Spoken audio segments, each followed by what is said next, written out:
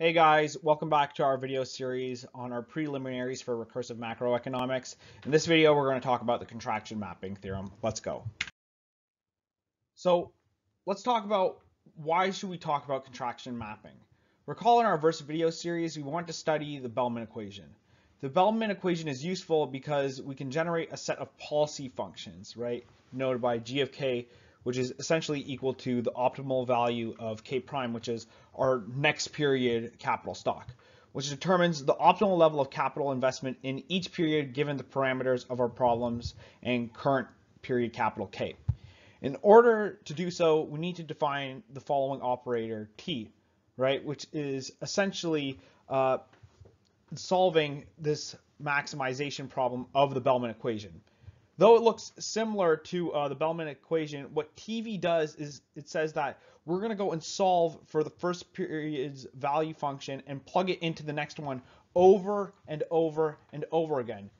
In this one here, I'm just saying we run this procedure only once. But what we want to do is that we want to run this procedure a number of times. The solution to this problem is a fixed point of this operator t, meaning that our goal is not necessarily to find an optimal value, it's to solve for this optimal function uh, v within our function. This simply says that if we were to apply this operator at its optimum value, it would simply obtain this optimal function. Bottom line, contraction mapping is important for properly identifying optimal policy functions when solving an optimal solution for which has infinitely many variables to solve for, which is the problem that we are dealing with. So let's talk about actually visualizing regular functional mapping. If t was a regular function, we'd be going and taking variables from space x and we'd be mapping it to space y or from space a to space b, right? Just going from in one direction, one way to the next. When we're talking about contraction mapping, we're taking functions and we're mapping them to an area within itself. We're, as in, we're taking uh, these values, we're pulling them and we're mapping them to a subset of itself.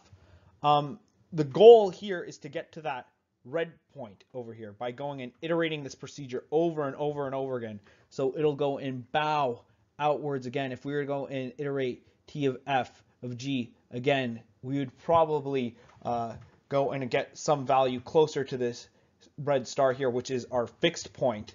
Um, and once we're at that fixed point, we can go and stay at that fixed point if we were to go and solve that again. Thus, we have convergence to a optimal value function.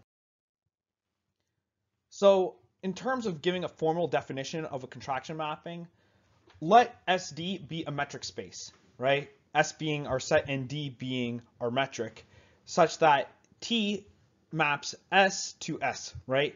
It's a function of S onto itself. The function T is a contraction mapping if there exists a number beta, right, which lies on the interval of 0 to 1, satisfying the following, right? That is, if we have our distance function of between t of x and t of y, right, meaning that we have t acting on x, right, this function t acting on x and t acting on y, right, that's going to be at least as good as um, applying this beta to this distance function, right, which goes and shrinks it, where beta is called the modulus of our contraction mapping. So this definition says two things.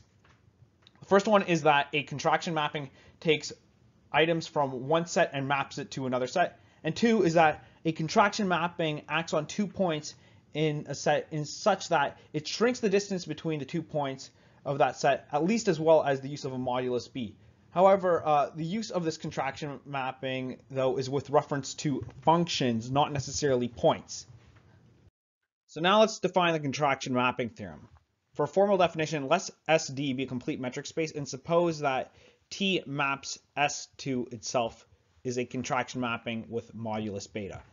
We can then say that the operator T has exactly one fixed point V naught contained in S and for any v naught contained in S and any n contained in our natural numbers, we can go and say that the distance between our t acting on our v naught n times and our optimal v is going to be less than or equal to our beta acting on our distance between our initial guess for v naught and v n times. This tells us that starting from any arbitrary guess for v naught, if we go and apply t n times to that function, we can approach our optimal value at a rate of beta. This is important because we can effectively use this as a tool for showing that there exists a true policy function. So uh, that's our video on the contraction mapping theorem. I'll see you in the next one where we talk about Blackwell sufficiency conditions. Take care.